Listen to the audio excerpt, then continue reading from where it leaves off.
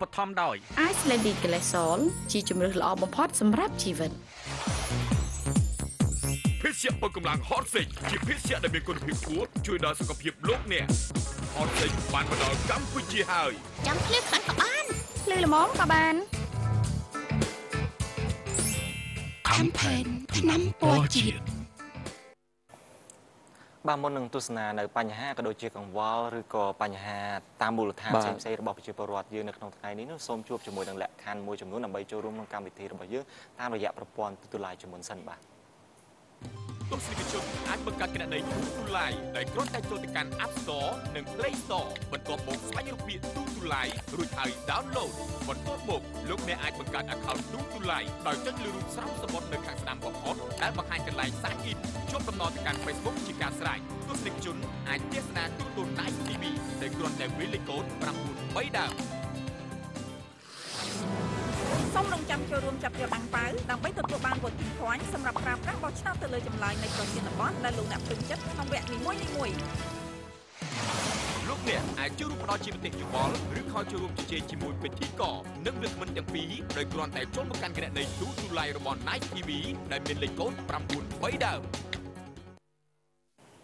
បាទសម្រាប់បញ្ហារបស់ពលរដ្ឋនៅក្នុងថ្ងៃនេះគឺពាក់ព័ន្ធទៅនឹងបញ្ហាដីហុយបាទទៅលើបណ្ដោយផ្លូវវែងស្រេងបាទឃើញថានៅទីនោះពលរដ្ឋអូនត្អែជាច្រើនតាក់ទងនឹងបញ្ហាដីហុយផ្លូវក៏ពិតផ្លូវធ្វើហើយហើយប៉ុន្តែក៏សំខាន់ដីហុយនៅលើនឹងអញ្ចឹងវាថាតើវាបណ្ដាមកពីមូលហេតុពីព្រោះដោយសារតែមួយរយៈមុនហ្នឹងគឺផ្លូវហ្នឹងអត់ទាន់បានធ្វើគឺហុយខ្លាំងតែឥឡូវហ្នឹងមានការជួសជុលស្ថាបនាមានក្រាលបេតុងអីច្បាស់លាស់នៅតែហុយដដែលនៅតែហុយដដែលបាទឥឡូវចង់ដឹងថាតើបញ្ហាទាំងអស់នេះកើតមកពីមូលហេតុអ្វីហើយពលរដ្ឋមានការត្អូញត្អែយ៉ាងណានោះសូមជួបជាមួយនឹងសេចក្តីរាយការណ៍របស់លោកចិនសុភ័ក្រនិងលោកវងវ៉ាន់លីដាបាទ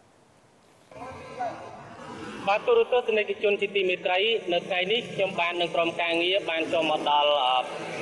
កំណាត់ផ្លូវវែងស្រេងស្ថិតនៅក្នុងសង្កាត់ស្ទឹងមានជ័យហើយនៅក្នុងនេះគឺប្រជាពលរដ្ឋបានអូនថែតាក់ទងទៅនឹងបញ្ហាទលីដីដែលមានកម្ទេចថ្មនិងស៊ីម៉ង់មួយចំនួនផង ដែលធ្វើឲ្យពួកគាត់រស់នៅអមសងខាងនេះលំបាកនឹងរស់នៅការលក់ដូរហើយនឹងធ្វើដំណើរជាដើមបាទហើយដើម្បីដឹងច្បាស់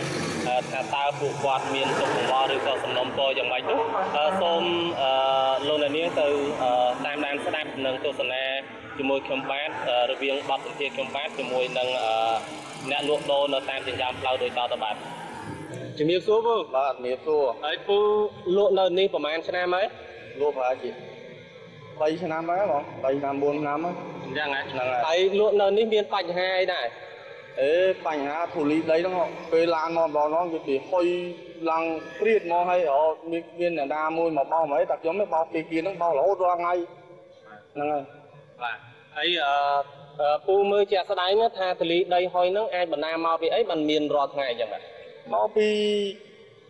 ឡានធំធំវាមកលឿនអញ្ចឹងមកលឿនទៅមកទាំងហុយព្រោះឲ្យអាឡានដឹកជូរវាបត់ហូតទឹកឲ្យនោមអាចតាមផ្លូវហ្នឹងមានណាមួយចេះស្មាតផ្លូវទេណាហើយអឺតកតងទៅនឹងបញ្ហានឹងដែរពូទឹមតែឃើញប្រហែលថ្ងៃហ្នឹងទេឬក៏មានមកយូរហើយបាទនិយាយរឿងហុយផ្លូវយើងនេះវាហុយយូរមកហើយអត់មានអ្នកដែលជួយសមាធិជួយទេហើយមាន សិនត្រីណាមកជួយបោះជួយអីខាងយើងផ្លូវហ្នឹងនិយាយពីអោយទៅមកឡើងហុយឡើងជុកឥឡូវនេះបានពីតុងកាលពីមុនវិញយកពាក់អាវភ្លៀងអ្នកធ្វើការនៅអីទៅពាក់អាវភ្លៀងយើងបានបានតាបាទបាទហើយពូមានសំណពរអីដែរតាក់ទងទៅនឹងបញ្ហានេះទៅដល់អាជ្ញាធរឬក៏អាជ្ញាធរមានសមត្ថកិច្ចបាទខ្ញុំមកថ្ងៃចង់សុំសុំអាជ្ញាធរដែរដែរជួយតាលេងមិនឲ្យសម្អាតអាជាតិផ្លូវហ្នឹងកុំឲ្យហុយហើយ ប្រគុណអនាម័យឲ្យជួយមួយទៅឲ្យសម្រាប់ឲ្យជាពលរដ្ឋដូចអ្នកឡាននេះមកមួយមួយឡានតាមមកដល់វានោមបាញ់ចំតាមផ្លូវបាញ់ឲ្យតាមផ្លូវរហូតហើយទៅជួអាចឡើងព្រៀតក្រោយហើយខ្ញុំកាយលុប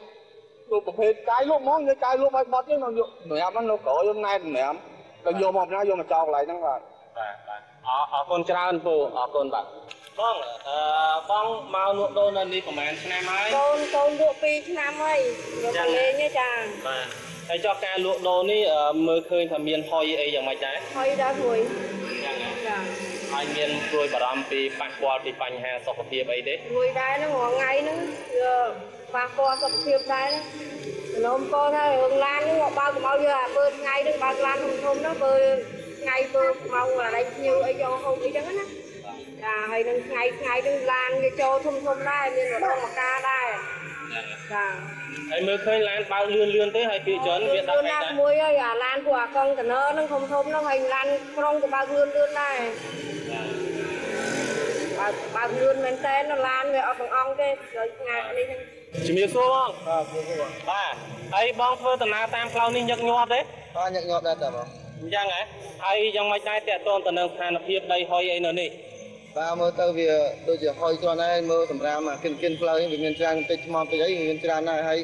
មកតាមហ្នឹងបើអត់ចាក់មកវិញហុយពេញព្រែងហ្មងពេលខ្លះអ្នកខ្លះឡើងញីភ្នែកទៅឡាននេះមកវាមុខបណ្ដោយហើយយើងមកផ្លែហ្នឹងគេអត់ទាន់ចាប់តាមមុខដល់ដួលក៏មានដែរបាទបាទហើយបញ្ហាហ្នឹងកើតមានយូរហើយឬក៏តែថ្មីថ្មីនេះបើតាមបងអូនខ្ញុំបងអូនទៅមកនៅបាន2ខែតាម2ខែហ្នឹងមកមិនចឹងរហូតដល់ពីមុនមកគាត់អត់ដឹងទេបាទ ហើយតកតងទៅនឹងបញ្ហាគ្រោះថ្នាក់ចរាចរណ៍អាចនឹងបណ្ដាបង្កមកពីបញ្ហានេះអឺបងមានសំណូមពរអីដែរក្នុងការចាត់ចែងដោះស្រាយលើបញ្ហាសម្រាប់ទីដីអីហ្នឹងបាទបងអូនមានសំណុំពរអាចារ្យរួមបងអូនមានសំណុំពរថាឲ្យសម្អាតអឺផ្លូវខ្នល់ឲ្យស្អាតអីសម្រាប់ឲ្យតាមផ្លូវកុំឲ្យមានទលីដីហូចតែនេះបើជាវាធ្វើផ្នែកចរាចរណ៍វាជាថាវាបានត្រូវថាវាបានជាចំណែកតូចនៅក្នុងការកាត់បន្ថយចំនួនចរាចរណ៍ដែរហើយក៏ទលីដីថ្មីចូលជាបរិយានេះក៏ កាត់បន្ថយតាមហ្នឹងដែរអឺជំរាបសួរបងបាទហើយស្ថានភាពផ្លូវបច្ចុប្បន្នយ៉ាងម៉េចដែរមានអីបងក៏ថាវារឿងថយរឿងអីចឹងណាចឹងហ៎អីចាបាទហើយមានបារម្ភខ្លាចប៉ះពាល់សុខភាពអីទេអាចខ្លាចណាបងគាត់ថាតែមិនដឹងធ្វើម៉េចបើយើងរកស៊ីចឹងហើយហើយយើងចាបើយើងក្រោបចឹងអីក៏អត់មានអ្នកទិញដែរហ្នឹងហ៎ចាពេលចឹងយើងត្រូវដាក់ចំហចំហចឹងមានអ្នកទិញមានអ្នកមើលចឹងដែរបាទចាហើយ គាត់ថារបស់នេះវាគាត់តែដីហុយម៉ែគាត់ថាយើងអត់មានរបស់របរយើងអត់មានលក់ដាក់គីមីដាក់អីអត់មានទេអាហ្នឹងហ៎បាទតែថាវាប៉ះពាល់លើដីហុយក្តៅពេកវាហុយអាហ្នឹងក៏ភ្លៀងតែអីបាទបាទហើយអឺក្នុងនាមបងជាអាជីវករលក់អីអញ្ចឹងអឺថាអ្នកលក់ដូរតាមចិញ្ចើមផ្លូវសាធារណៈអញ្ចឹងចោះអឺ បងមានបានចូលរួមទប់ស្កាត់ឬក៏ថាអនាម័យអីយ៉ាងម៉េចដែរពេលព្រឹកឡើងមានបោកអីនៅខាងមុខអីទេបាទអូបោកអីធម្មតាព្រឹកក៏បោកថ្ងៃល្ងាចក៏បោករហូតជំរាបសួរបងស្រីតាមវាសួរពូបាទហើយតកតងទៅនឹងបញ្ហាអនាម័យអីនៅកន្លែងបងលក់អីយ៉ាងម៉េចដែរខ្ញុំសម្អាតដែរតែប៉ុន្តែថាពិបាកតាដែលនេះនីមួកហ្នឹងអញ្ចឹងណាចាហើយពេលបងឃើញបងធ្វើយ៉ាងម៉េចដែរ អួតរហូតខ្ញុំអួតណាចាបងនៅតែអួតនឹងរហូតឬក៏បងមានអឺវិធីអីដើម្បីចាត់ចែងអត់ទេខ្ញុំយកដីឲ្យតែថ្ងៃកើបដាក់ថង់យកទៅបោះចោលទៅឆ្ងាយទៅទីទៅយ៉ាងណាអត់ឡានចាំគេយកបាទជួបញឹកញាប់ទេញឹករហូតហ្នឹងពូឲ្យតែបងបងគាត់ឈប់ហ្នឹង ចាណាចាបាទចាពីច្រើនបងគិតថាអ្នកធ្វើដំណើរតាមផ្លូវឬក៏ឡានឡានធំធំពីយប់បាទឡានតែឡានហ្នឹងឈប់គឺពី3កន្លែងយ៉ាងមកយ៉ាងចាអូហើយចុះបងអឺក្រៅពីការសម្អាតអីអញ្ចឹងបងអឺមានវិធីអីផ្សេងទៀតទេដើម្បីកុំឲ្យគាត់ទៅទទួលបងអីអញ្ចឹងខ្ញុំតាំងមានទីនេះឡៅនេះមានដាក់ជាផ្លាកដាក់អីអីកុំឲ្យទទួលបងអីទេយ៉ាងម៉េចចា ថាថាដាក់ពេផ្លាកដែរហ្នឹងណាថាឈប់ឲ្យឡានហ្នឹងចតអីមកជារាជព្រៃអីពេញទឹកពេញអីចឹងបាទចាហើយបងលក់នេះយូរហើយខ្ញុំលក់តែប្រហែលប្រហែលជា3 4ខែពូអញ្ចឹងហ៎ហើយតើតើទៅនឹងការបន្ទោបងលិមួកអីពីវាពីការនេះបងមានសំណុំពរអីដែរទៅដល់អាជ្ញាធរមានសមត្ថកិច្ចខ្ញុំសូមចំណាំពរឲ្យអាជ្ញាធររៀបចំកុំឲ្យធ្វើចឹងទៀតចាធ្វើអញ្ចឹងទៀតយ៉ាងម៉េចទៅធ្វើកុំឲ្យមាននិមុខនេះអីពេញពីពី ពេញក្រួយកន្លែងខ្ញុំលក់ចឹងពិបាកក្លិនអាក្រក់អញ្ចឹងហ៎ចាបោកមិនក៏នៅធំក្លិនដែរអញ្ចឹងចាអូខេអរគុណច្រើនមកណាអរគុណទូរទស្សនិកជនអឺតាមពិតទៅផ្លូវកំណត់ផ្លូវវែងស្រីនេះមានភាពល្អប្រសើរជាងមុនឆ្ងាយបើប្រៀបធៀបកាលពី5ឆ្នាំមុនដែលនៅរដូវវស្សាមានភ្លៀងធ្លាក់អឺមានភ្លៀងធ្លាក់គឺមានអឺការធ្វើដំណើរពិបាកជាប់ផុងរអិល ហើយអឺនៅរដូវប្រាំងមានការហុយខ្លាំងអឺសម្រាប់បច្ចុប្បន្ននេះអឺបើទោះបីជាផ្លូវនេះអឺក្រាលដោយអឺបេតុងហើយ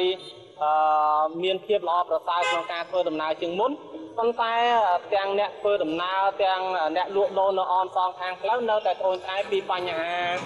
អឺធូលីដីហុយជាពិសេសកន្តិចថ្មហើយនឹងការបន្ទោបងពីវាលពីការនៅតាមបណ្ដោយផ្លូវនេះបាទ នៅពេលនេះខ្ញុំបាទនឹងក្រុមការងារសូមជម្រាបលាតែត្រឹមនេះបាទបាទបាទ ពាក់ព័ន្ធនឹងបញ្ហាហ្នឹងធីរិតបើយើងមើលទៅគឺទ្រូងផ្លូវបាគឺទរលោងស្អាតបាទប៉ុន្តែបញ្ហាចោតគឺកំណដីនិងសម្រាមហ្នឹងគឺនៅឯគៀនគៀនផ្លូជាវធម្មតាអាបាទទ្រឹងផ្លូវនោះវាខ្ពស់ជាងអញ្ចឹងអាដីវាទៅធ្លាក់មកជាជាបាទអញ្ចឹងហើយអាជីវករបាទក៏ដូចជាប្រជាពលរដ្ឋដែលរស់នៅអមតាមបាទដងផ្លូវហ្នឹងគឺទទួលរងនៅផលប៉ះពាល់ដោយសារបាទបញ្ហាហ្នឹងហើយបើយើងមើលឲ្យមែនទែនទៅផ្លូវហ្នឹងគឺច្រើនបំផុតហ្នឹងគឺឡានធំធំដែលដឹកបាទទំនិញបាទបាទបាទមានដឹកដីមានដឹកទំនិញផ្សេងៗដែលបង្កឲ្យមានការអឺបាទសំណល់គាត់សល់ហ្នឹងជាបាទកាត់តាមហ្នឹងគឺហុយទៅពេញហ្នឹងតែម្ដងបាទឃើញដីឃើញខ្សាច់អីដែរឃើញខ្សាច់នៅពីមុខអីច្រើនដែរបាទមិញដូចអាជីវករលើកឡើងហ្នឹងមានអ្នកខ្លះហ្នឹងគាត់អឺយកថង់មកខ្ចប់អាដីហ្នឹងទៀតដើម្បីយកទៅបោះចោលទៀតគាត់គឺទៅវាទៅទៅណាអញ្ចឹងគឺហុយនៅមុខគាត់ហើយក្រៅពីបញ្ហាហ្នឹងក៏មានការបន្ទូបងបាទអឺតាមតាមអែបអែបផ្លូវហ្នឹងដែលធ្វើឲ្យមានក្លិនមិនល្អអឺបាទមួយចំនួនដែរឃើញបាទថាអានេះអឺ ជាការរៀបចំរបស់អាជ្ញាធរបន្ថែមទៀតដោយសារតែយើងឃើញថាផ្លូវហ្នឹងអឺមានការក្រាលកស៊ូអីល្អស្រួលជីហើយឥឡូវអានេះជាជំហានបន្តទៀតត្រូវតែសម្អាតវាស្អាតអាជ្ញាធរបាទបាទលោកនឹងចាត់ចែងទៅផ្លូវវែងស្រីនេះអាចចាត់ទុកថាជាផ្លូវអឺសេដ្ឋកិច្ចជាតិយើងដ៏សំខាន់មួយត្រូវផងដែរហើយបាទចា៎ព្រោះថានៅតំបន់ហ្នឹងសម្បូរទៅដោយរោងចក្ររោងចក្របាទហើយអញ្ចឹងហើយអឺបញ្ហាដែលចោតឡើងនេះតាមពិតទៅវាមិនទៅចោតឡើងទៅលើអឺអ្នកធ្វើដំណើរទេតែវាចោតទៅនៅអឺប្រជាពលរដ្ឋដែលរស់នៅជុំវិញហ្នឹងជាពិសេសកម្មករបាទកម្មការអនីញ្ចឹងហើយនៅពេលដែលដីហុយហ្នឹងទៅវាធ្វើឲ្យប៉ះពាល់ដល់សុខភាពរបស់គាត់ណាបាទអាហ្នឹងគេហៅថាដូចដីរំសួតអីចឹងនៅពេលដែលគាត់ដកដង្ហើមណាបាទបាទមិនអីទេអាជ្ញាធររបស់យើងកំពុងតែរៀបចំក្នុងការរៀបចំឲ្យស្អាតទាំងធូលីដីនៅតាមដងផ្លូវនឹងឲ្យស្អាតហើយបាទឃើញបងបងស្រីអាណាអ្នកដែលបោះសម្អាតតាមផ្លូវក៏ព្យាយាមបោះប៉ុន្តែពេលខ្លះមិនបានគ្រប់គង់ជួយបាទប៉ុន្តែយ៉ាងណាអាជ្ញាធរនឹងបង្កើនសមត្ថភាពទៀតឥឡូវបាទវិដាយើងដូចមានក្រុមការងាររបស់យើងបានតាក់អឺទងបាទទៅគឺខាងមានអាជ្ញាធរបាទមួយរូបដែលធ្វើការឆ្លើយតបទៅលើបញ្ហាហ្នឹងគឺចៅសង្កាត់ស្ទឹងមានជ័យ3បាទចង់ដឹងថាតើគាត់មានចំណាប់អារម្មណ៍ក៏ដូចជាការឆ្លើយតបបែបណាចំពោះកង្វល់របស់ប្រជាពលរដ្ឋនោះសូមទស្សនាទាំងអស់គ្នាបាទកន្លងមកខ្ញុំតាំងពីចូលមកខ្ញុំបានប្រហែលជា3ដងហើយដែលមានខាងគ្រឿងចក្ររបស់អឺអឺមន្ទីរសាធារណការជាពិសេសខាងផ្នែកសម្អាតទីក្រុងហ្នឹងគាត់បានមកប្រមូលអីកើបខ្ញុំប៉ុន្តែខ្ញុំឯកភាពនឹងបងប្អូនប្រជាពលរដ្ឋដែលបានមើលឃើញពីអាបញ្ហាដែលរថយន្តដឹក ខ្វះការក្រោបសណ្ដប់ឲ្យចិត្តហើយគាត់បើកលឿន ជ្រុះដីខ្សាច់ជ្រុះកតិចថ្មខ្លះខ្លះតែវាមិនមិនមែនទៅជាផ្លូវដែលសម្រាប់ដឹកអាហ្នឹងជាប់ទេ តែបងប្អូនរស់នៅតាមផ្លូវជឿជាក់ខ្ញុំជឿជាក់ថាជួបប្រទះនៅការហុយដីធ្លីនេះគឺมันបានដូចជាផ្លូវនៅកណ្ដាលទីក្រុងទេគឺនេះនៅផ្លូវដែលมันទាន់មានការរៀបរយហើយនៅឡានដឹកដីនឹងចាក់នៅតំបន់ដែលមាន បឹងមានបន្លាយអញ្ចឹងទៅដែលគាត់ត្រូវការធ្វើសាងសង់អីនេះនេះគាត់ដឹកទៅវាមានការជ្រុះអញ្ចឹងក៏ពិតមែនហើយប៉ុន្តែការដែលប្រមូលកំតិចដីនោះឲ្យបានជាប់ជាប្រចាំនេះគឺมันទាន់មានទេបាទចុះចុះលោកពូតាក់ទងទៅនឹងការដឹកអីជ្រុះតិចអីហ្នឹងខាងសង្កាត់ឬក៏អាជ្ញាធរពាក់ព័ន្ធមានធ្វើជាយុទ្ធសាស្ត្រអីដើម្បីទប់ស្កាត់ទេយើងបានលើកឡើងនៅក្នុងអង្គប្រជុំជារឿយរឿយៗ គឺយើងចង់สนុំពរឲ្យដល់ទៅរថយន្តដែលដឹករស៊ីអាជីវកម្មដឹកដីខ្សាច់ដឹកកតិចថ្មដឹកអីសូមឲ្យគាត់មានសំណាញ់ក្របឲ្យបានចិត្តដិតជៀសវាងការជ្រុះពីពីពីកាលហើយហើយទៅលើបងប្អូនជាបរិវត្តនាំឲ្យប៉ះពាល់ដល់សុខភាពខូចនៃអឺស្ដាប់ធ្នាប់ទៀតយើងតែងតែយើងតែងតែបានមានការណែនាំដែរប៉ុន្តែឲ្យបានអឺ ជ្រួតជ្រាបទៅដល់ពួកអ្នកដែលអឺធ្វើអាជីវកម្មនេះគឺថាខ្ញុំគិតថាលំបាកបច្ចុប្បន្នដោយគាត់មិនបានទទួលព័ត៌មាននឹងឲ្យបានដល់គាត់ជាក់ស្ដែងការទទួលរបស់គាត់ការទទួលព័ត៌មានរបស់គាត់គឺมันបានគ្រប់ជ្រុងជ្រោយទេយើងផ្សព្វផ្សាយឧទាហរណ៍តាមទូរទស្សន៍អញ្ចឹងក៏អត់ដែរបានមើលផងយើងផ្សព្វផ្សាយផ្សព្វផ្សាយទៅប៉ុន្តែគាត់អត់ដែរបានមើលបាទបើដូចជាសម្រាប់មិញងាកថយក្រោយបន្តិច ដូចជាសម្រាប់មិញអញ្ចឹងយើងបានចែកសេចក្តីជូនដំណឹងស្ដីអំពីការទុកដាក់វិខ្យមព្រាយឯអាអាអាផ្នែករថយន្តនេះយើងអត់គាត់អត់ដែរបានទទួលអញ្ចឹងខ្ញុំសូមនិយាយតែការពិតទេថា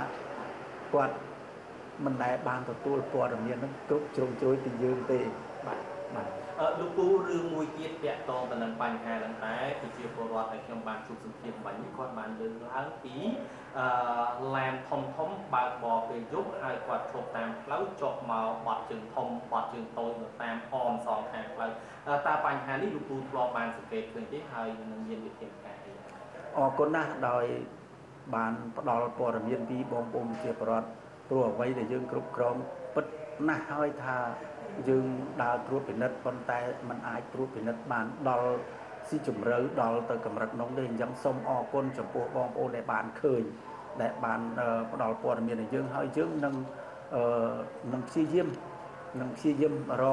រកចំណុចនោះទៀតព្រោះថាបច្ចុប្បន្ននេះកម្លាំងយើងនៅសាលាសង្កាត់នេះតិចតួចណាស់កម្លាំងកម្លាំងអ្នកដែលមើលថែតែម្ដងតាមផ្លូវដូចជាអ្នកដែលចតឡានខុសកន្លែងហ្នឹងយើងដេញបាន យើងដេញបានយើងដូចថាបង្ក្រាបគាត់បានតែអាបញ្ហាមួយហ្នឹងគឺថាយើងនៅខ្លះខាតបាទការការចង់ទទួលបងអីយើងមានវិធានការអីយ៉ាងម៉េចបើតាមពូយល់ឃើញដើម្បីកុំឲ្យមានការទទួលបងរហេតុរហូតអីចឹងឬក៏ធ្វើប្រគុណឬក៏ដេញពូគាត់អីយ៉ាងម៉េចបាទពូរឿងនេះអឺដូចជាយើងមិនមិនមិនទាន់ធានាដល់ទៅថ្នាក់មានប្រគុណអីចល័តតាមផ្លូវជូនគាត់ទេប៉ុន្តែ ក៏សូមអង្វរកទៅដល់ក្រមដែលបើកបររថយន្តនឹងវិញទេសូមឲ្យលោកគិតពិចារណាថាបច្ចុប្បន្ននេះវាយើងកាន់តែស្រុកយើងកាន់តែទំនើបពីដើមមានព្រៃនៅចិត្តខាងចិត្តខាងយើងចេះតែជប់ឡានតាណាចតតាណាចូលបត់ជើងតូចធំអីចឹងទៅចេះតែបានឥឡូវនេះបច្ចុប្បន្ននេះ